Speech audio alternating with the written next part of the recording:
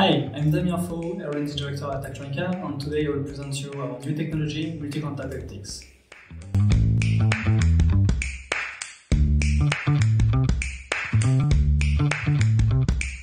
In our day-to-day -day life, we are interacting a lot with machines through various interfaces, which are mostly relying on our vision or hearing to provide us sensory feedback.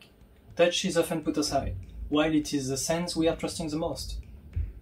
As you may know, through haptics interfaces, based on the science of touch, we can now address this growing need of tactile feedback in human-machine interfaces.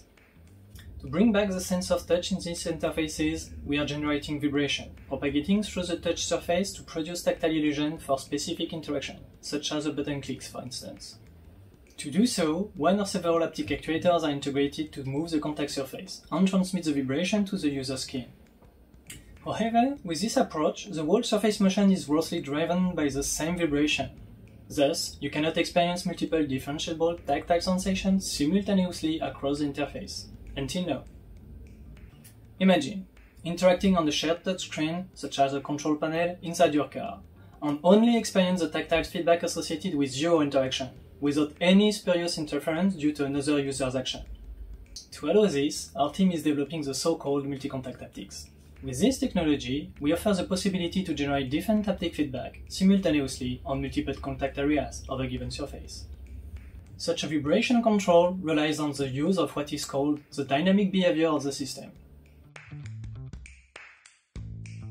As you can see, every system possesses specific deformation modes occurring at specific frequencies of stimulation. Thus, by combining them, we can produce different vibration profiles on given location of a surface simultaneously. To do so, several actuators attached to the surface are driven independently, and the calibration is performed to identify their contribution to this dynamic behavior.